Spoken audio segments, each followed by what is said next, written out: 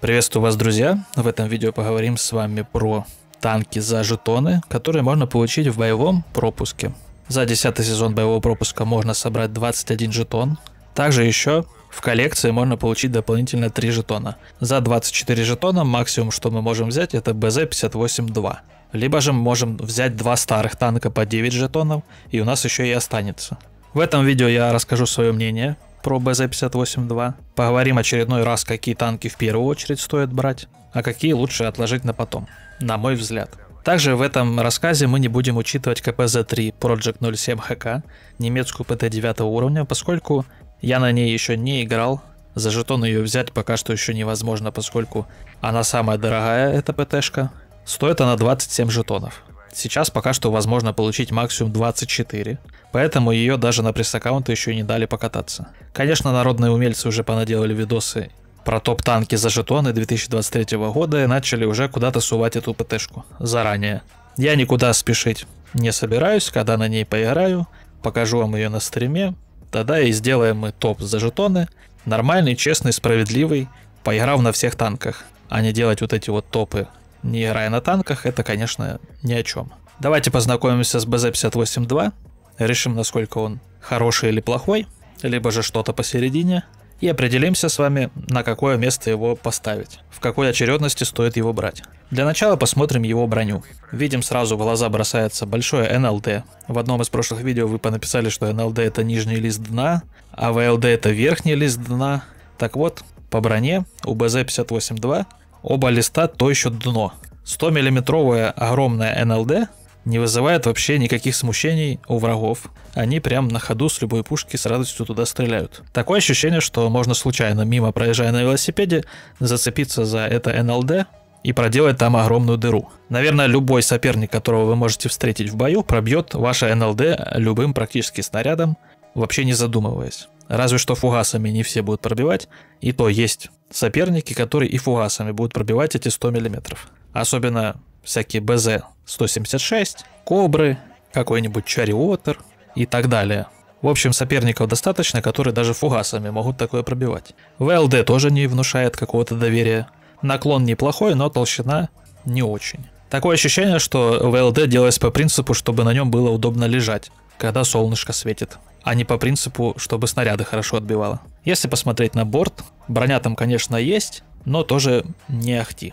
Также там еще какие-то юбки вокруг башни присутствуют. В общем, с этими юбками танк больше готов к танцам, нежели к танкованию. Максимальная скорость у нас 35 вперед. Это неплохо для тяжелого танка, но с такой броней мы скорее средний танк. Удельная мощность 13. В целом, что хочется сказать про мобильность. Маневрирует, крутится и набирает свою не сильно большую максималку, этот танк хорошо. Ездить на нем приятно. Не зря у него есть юбка, видимо реально к танцам готовился. И лоб башни это, наверное, единственное место, где прям про броню. Вот это место вряд ли кто-то вам пробьет. Даже если будут стрелять специальными снарядами, ну, может быть, ПТ-10 будут пробивать. Но я думаю, что на ПТ-10 вы будете выезжать аккуратно. Но это не точно. Поскольку на башне имеются лючки, в них брони немного, размер приличный, я думаю, что любой соперник, даже с плохим зрением, заметит, что на башне что-то есть. Поэтому башня хоть и крепкая, но на ближней дистанции, особенно в позиционках, если вы еще и стоять будете, скорее всего вам будут очень часто пробивать лючки. Поэтому лоб башни скорее пригодится на средней дистанции и желательно не стоять как истукан. Если заглянуть в корму, то в двигатель можно пробивать фугасами, практически любыми. Поэтому лучше, чтобы заглядывали в корму только вы, а соперники не должны там быть. Вот мы уже и выяснили, что этот танк скорее СТ-шка переросток, чем тяжелый танк. От тяжелого танка здесь только лоб башни. Ну и возможно еще пробитие с альфой. То есть у нас орудие от тяжелого танка и лоб башни. Корпус у нас скорее от среднего танка и маневренность тоже. Максималка от тяжа. Получается у нас такая вот смесь. По сути, пока что для целевой аудитории этот танк не выглядит как какой-то вкусной сладкой конфеткой. Скорее, больше похоже на что-то другое. Но бывалых танкистов таким не испугать. Тяжи похожие на СТ, СТ похожие на ТТ. Такое мы уже видели, к такому мы готовы. Танки, которые не прощают ошибки, на них мы уже отметки набивали, средуху высокую держали. Ничего страшного в этом нет. Но если у вас руки красные и клацают, то, наверное, это и не руки, а клешни. И такой танк вам не подойдет, поскольку ошибки он не прощает. Единственное, что может спасти этот танк, это орудие. Поскольку даже если мы бывалый статист, броня, которая не прощает ошибки и посредственная скорость, как для СТшки, но неплохая, как для тяжа, этим результат пока что не набьешь. И здесь орудие, на удивление, радует. Сведение 3 секунды, конечно, радость еще та. Разброс на 100 метров 0.37. И уже по первым же цифрам прям нет предела этой радости. Такой точностью только землю вскапывать, а во время сведения можно и вздремнуть. Урон в минуту 2066. С таким ДПМом между выстрелами можно посмотреть серию любимого сериала. Пробитие основным снарядом 250, специальный снаряд пробивает 303. Альфа у нас 520, и это серьезно. Если у вас средний урон меньше 500, а таких я видел, то на этом танке можно будет поднять средуху, если давать за бой хотя бы один урон. По параметрам орудия видно, что это такое стандартное польское оттяжа орудие, которое чисто про альфу. Пока что по параметрам не впечатляет. Вот и я до того, как поиграть на этом танке, определил для себя, что этот танк мне, наверное, не нужен. Оно того не стоит, выглядит страшно. Но начислили на пресс-аккаунт этот танчик, и я сел на нем поиграть. На канале стрим есть, кто хотел, тот посмотрел. Удивительная вещь на этом танке была замечена не только у меня, но и разведчики доложили, что у других стримеров тоже. Был замечен такой факт, что орудие часто стреляет в середину прицела. Где-то такой танк я уже видел, название его я говорить не буду. Я думаю, что те, кто смотрят мои стримы, они поняли, у какого танка еще снаряды часто летят в середину. Даже такой танк, наверное, не один, их парочка точно, по крайней мере, за последнее время мы видели. В принципе, из приятного это все. Только то, что снаряд летит часто в середину прицела. Стрелять реально приятно. Орудие опускается на 8 градусов, альфа 520, пробитие хорошее, сведение и точность, ну такое себе. Точность, кстати, 0.37 не такая уж плохая. Ставишь там всякие допаечки, и уже не так уж плохо выглядит. Тем более, если еще и экипаж посадить не мимо танка, а внутрь еще и с перками, то будет вообще класс. Обзор 380 это неплохой результат, как для тяжелого танка. Но вот что больше всего подкупает, это то, насколько часто летит снаряд в середину прицела. Если он не будет туда так часто лететь, как летит, и летит не только у меня, то в принципе в этом танке ничего интересного особо нет. Но раз оно летит и не только у меня, то реально с него удобно и приятно стрелять. Когда ты даешь такую большую альфу, еще и даешь приятно, комфортно, не такая уж плохая стабилизация, приемлемая точность, еще и снаряд летит хорошо, то это прикольно это не настолько плохо, как казалось до того, как поиграешь на нем. Пока ты на нем не поиграл и смотришь параметры, посмотришь броню, очевидно становится, что этот танк лучше обойти стороной.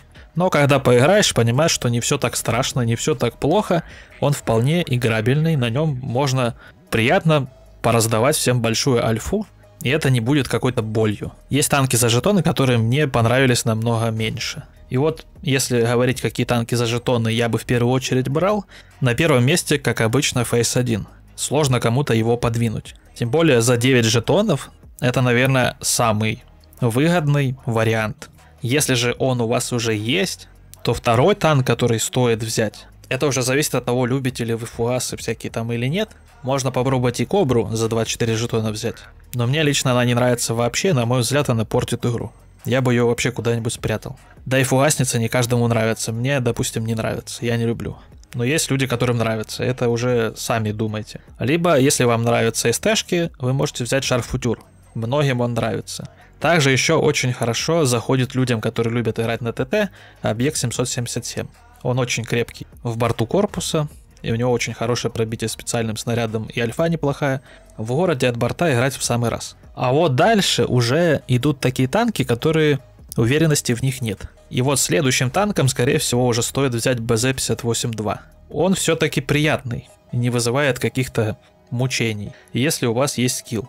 Если вы ничего в игре не понимаете и новичковый новичок, либо же просто играете для удовольствия и особо разбираться ни в чем не собираетесь, этот танк прощать ошибки вам не будет. А поможет ли вам приятная стрельба, я не знаю. Чтобы пользоваться приятной стрельбой, нужно находить моменты, в нужное время, в нужную сторону хотя бы развернуться и в нужное место сделать выстрел. Будет ли такое делать неопытный игрок, сомневаюсь. А броня спасать не будет. только если враги будут стрелять в лоб башни. Но если всю проекцию лобовую посмотреть, лоб башни занимает намного меньше места, чем все, что остальное пробивается. Следующий танк, наверное, я взял бы Лора 50Т.